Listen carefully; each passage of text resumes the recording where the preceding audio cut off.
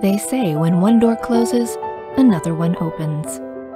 But when it comes to families with sick children, we are forced to close our door up to 45,000 times a year, leaving families to pay up to $38,000 just to be with their sick child.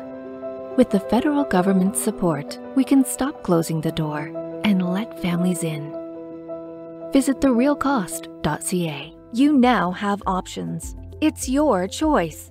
Did you know that tests that could save your life from cancer are now available for little or no cost, thanks to the healthcare law called the Affordable Care Act? Let this be the year you get screening tests that can prevent cancer or detect it early when it's most treatable.